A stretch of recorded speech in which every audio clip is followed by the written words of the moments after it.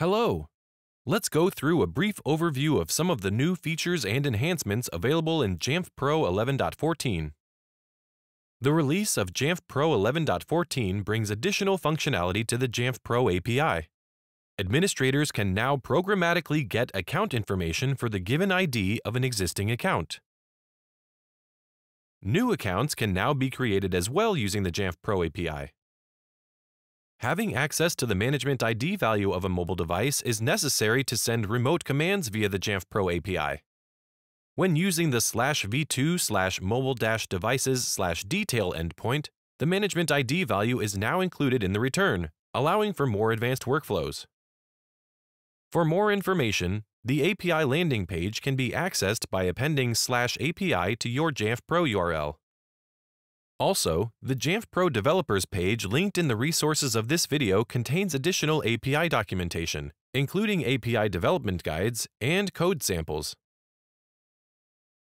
For high security organizations utilizing the Active Directory Certificate Services or ADCS connector, an additional secure method for deploying certificates is available with Jamf Pro 11.14. Administrators can now use the SCEP payload of a configuration profile to deploy certificates instead of the certificate payload. Using this deployment method, the key pair generation occurs on devices, not in Jamf Pro, and the private key is kept on the user's device. The SCEP deployment method also supports automatic certificate revocation based on scope change. For example, if a non-compliant device falls out of scope, the ADCS connector will request its certificate to be revoked in the ADCS. SCEP-issued certificates can be renewed by setting the configuration profile to be automatically redistributed a specified number of days prior to expiration. For more information, check out the full release notes and the ADCS integration technical paper linked in the resources of this video.